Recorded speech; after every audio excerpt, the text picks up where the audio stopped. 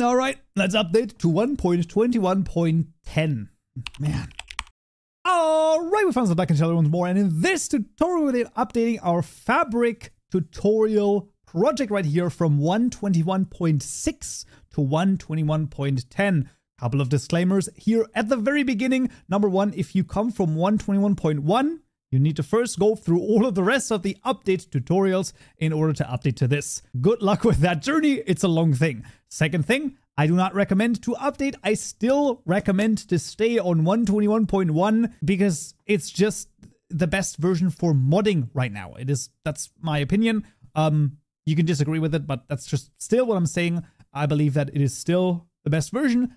I'm just hoping that 122 comes out at some point, okay? Uh, at this point, I'm not even hoping that it's coming out soon, just at some point at all, okay? Maybe next year, at some point next year, right? Maybe maybe it could be a Christmas gift 2026. Please, Mojang, please. But regardless, how are we going to update? We're going to update, of course, via the developer website over here. We can see the changes right here. So there's going to be the new versions.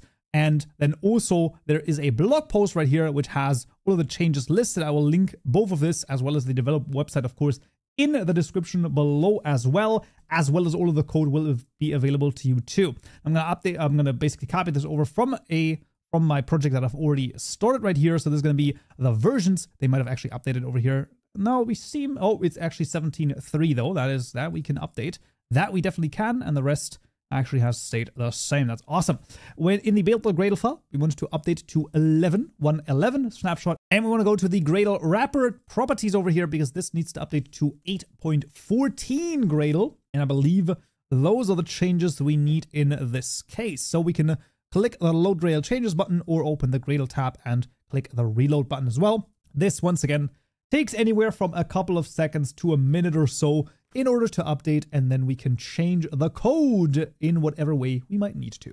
And there we go, build successful in 46 seconds. And let's take a look at what has changed. The two big changes are the particles, interestingly enough. So particle has changed as well as the block entity renderer. Oh boy, this is definitely a little bit crazy. But luckily, we're going to be able to implement it entirely. So the block entity renderers now also require, similar to the entities that we've seen previously, the render states. So in the block entity renderer package, we're going to make the pedestal block entity render state mm, class over here in this case. And this is going to extend from the block entity render state class. Now, what is the render state? High level overview instead of having access to the block entity instead of the render method, we will now have access to the render state. So anything that we want to use instead of our render method, we now need to add this to the pedestal block entity render state class. So this is going to have the public block position. This is going to be our light position. This is needed so that we can determine what the light is of the item that we want to render. We want the world, so public world. This is going to be the block entity world. We also want the uh, public float rotation. This is, of course, the rotation of the item itself. And finally, we're going to have the final item render state. Render, render state. There you go. This is the item render state equal to the a new item render state. This is needed to actually render the item. We'll see this in just a second. But that is the entire render state that we need, and the rest happens in the block entity renderer. First of all, inside of the implemented interface over here, there's a second generic, and that's going to be the pedestal block entity render state. And now we can hover over this to implement both the create render state method as well as the new render method. Uh, let's get the light level over here below. And per usual, of course, the code is all going to be available to you in the description below. So no worries there at all. The old render method, we're just going to like basically copy the entirety of the code from there and paste it into the new one and delete the old one. And you can see a couple of things are missing. That is because, well, we no longer have access to the entity. The item renderer as well as the stack gone. So we start now with matrices.push. And here, item renderer render item also gone. So that is basically the first step on how the render method should now look like. Now, we no longer have access to the entity, but we have access to the render state. So the rendering rotation is now going to be gotten by exactly using the state.rotation. This is the field that we've literally just created inside of our custom render state class. And that is now what we need to use. But the question is, where do we even get this render state from? Well, we get this from the create render state method. here we need to make a new pedestal block entity render state. However, you might cry out and say, wait a second, but we have not yet sort of set what the rotation actually is. This is true. This happens in the update render state method over here that we have to overwrite, very importantly.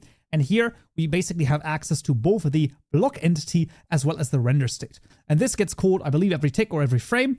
And this is where we pass in uh, any sort of, well, any values to our render state. So we can say state dot light position is equal to block entity dot get pos, right? So we're basically setting the light position of the render state to whatever the position is of the block that we're currently, of the block entity that we're currently rendering.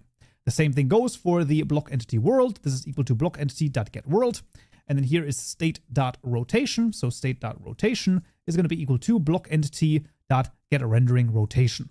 Awesome. Finally, how do we actually render the item? Because, well, right now the item is gone, right? We no longer have the, the item renderer and all of that stuff. Well, this now works via the item model manager. Sounds a little complicated, but it's not that bad. We're going to make a new field, private final item model manager. This is going to be our item model manager. Inside of the pedestal block entity renderer constructor, we're going to say item model manager equal to context.item model manager. So nothing too crazy for now. In the update render state method, we now want to basically clear this manager and update it to a specific item. So we want to say this is the item that you should render. So this is going to be item model manager dot clear and update. First thing, state dot item render state. Second parameter, block entity dot get stack zero. Uh, then we have the item display context of fixed. We then do block entity dot get world. Then this is a null because we're not holding the item. And the seed, I just put in a zero. I'm not quite sure what the seed does, but zero seemed to work totally fine. So that is the item model manager now sort of set up. And now we want to, or rather the item model manager has cleared the render state. I'm not quite exactly sure what the, what the, um, the, the behind the scenes is, but basically we now can in the render method after you know, rotating the matrix, can say state dot item render state dot render. So we're now rendering the item render state. Pass in matrices, pass in the queue, pass in get light level. Here we need the state dot get block entity world, state dot position or pos. After the first closing parenthesis, we then also want to put in the overlay texture of default UV. And finally, the this is the outline color this is just going to be a zero for now as well. Highly recommend it, of course. You can try test this out. I don't, I, I actually don't know if there's going to be an outline color that changes over here, but there you go. This is actually the entire change of the block entity renderer. Like I said, the big change here is, of course, that now the block entity renderers also use the render states. I suspect that this has something to do with the Vibrant Visuals update, that they're now using the render states in all of their renderers, but overall, nothing too crazy. Now, when it comes to other changes, um, we do need to, be I believe, go through a couple of things, and that is the is client over here has now changed to is client method. So we can no longer use the is client field, we now need to use the method. Makes sense anyway. I, I don't know why the field was ever like non-private, but you know, there you go. That's totally okay. And I believe that now we, oh yeah, the big one is the particle. That's the pink garnet particle. And then we're just gonna go through by pressing the run button and then just going through all of the rest that pops up. The uh, particle, actually not that bad. Instead of a sprite billboard particle, it is now a billboard particle. This requires in the super another thing, and that is the sprite provider.get first, right? So it's going to get the first sprite right here. We no longer have access to the set sprite for age, but we also don't really need this. Uh, instead, what we do is we hover over this to implement the get render type method. So this is the same as here, just that is now render type, and the render type here is going to be render type.particle atlas translucent. We can delete the get type method, and in the factory, very straightforward, as another parameter, we simply want to add a random over here. This is net minecraft util random math, and that is going to be random, and that is it. That is the pink garnet particle updated as well. And then let's just uh, click the run button, and we're just going to see. I believe there's going to be a couple more errors that's going that are going to pop up. Yep, that is the. I believe this is just. I don't even know what the what the change here is. I think it's just uh, the name has changed slightly. The chair Oh yeah, and then basically the rest here, ah yes, inside of entities, you no longer have get world, it is now get entity world. I don't know why that's the change, but that's okay. No worries at all. That, that basically it still works exactly the same way. So we can just continue to click the run button or we can also just look at the problems right here and go through all of those. This is the Mantis renderer. Indeed, this is the render method because this, I believe, takes in... Yeah, yeah, there's no more vertex consumer. So if we were to now override the render method, you can see we get the ordered render queue uh, command queue as well as the render state. Uh, or the camera render state. It's a little bit crazy, it's a little bit different, but basically we can literally just change this out and then just pass this into the super instead.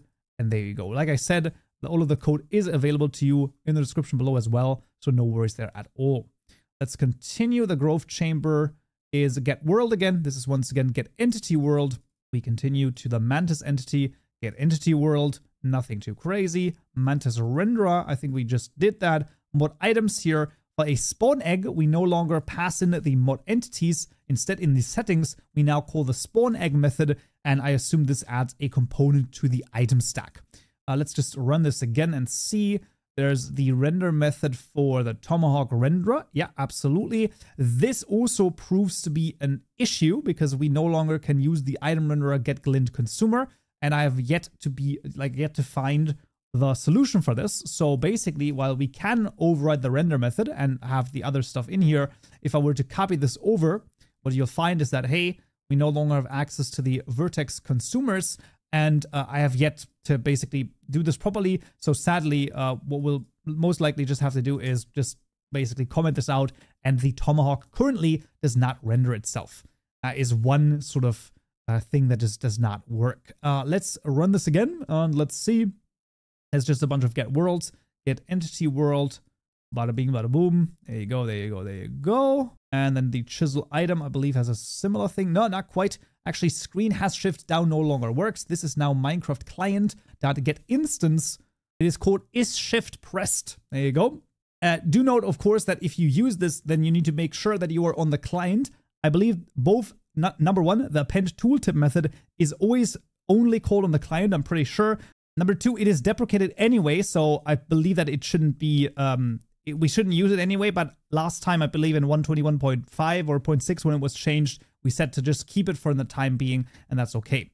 Here is client, once again, just using the method. And finally, same thing here, get world entity world right here. Bada bing, bada boom. And I believe we have it. I believe those are all the changes that we need to do for the time being. That is it. Definitely not too bad. Let's just I guess let's just run this and let's see, right? I mean, there might be some other changes that are going to come, you know, later down the line as well. Who knows? I'm just out here hoping for 122. Okay, that's that's all I can tell you, man. That's that's, really all I can tell you. And welcome in 121.10. Let's go. So of course, a couple of things do not work. Like I said, the Tomahawk is not going to properly uh, function in this case. Let's just get a couple of things out here and let's just see whether or not they work or not. But I'm pretty sure everything should work. So you go down with a hammer. We can see the hammer still works. That's pretty good. We can also still do that. We see the um, different um, different particles over here. You can see the, the particles work as well. The pedestal works wonders too. Absolutely fantastic. We can still sit on the chair. And then I believe this is actually netherrack or end or uh, end stone. I don't know which I did. I did end stone. Okay.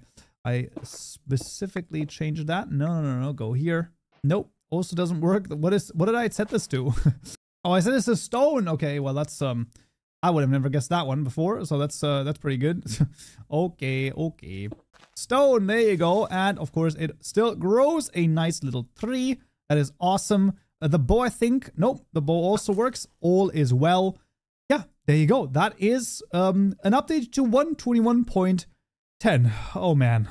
Right, there you have it. As per usual, all of the code is available to you down below in the description, and I'm hoping that next time we uh, we talk over here in tutorials, it's going to be 122. I sort of doubt it, but listen, okay, let's just let's just hope for the best.